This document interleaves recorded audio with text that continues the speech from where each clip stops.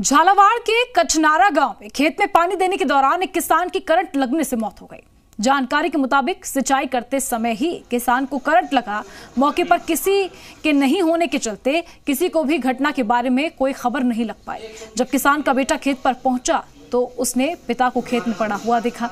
जिसके बाद उसे सामुदायिक स्वास्थ्य केंद्र चौमहला लाया गया, जहाँ डॉक्टरों ने उसे मृत घोषित कर दिया। खेत से एक बालक ने घर आकर बताया कि इसकी बिजली का करंट लगने से मृत्यु हो गई है।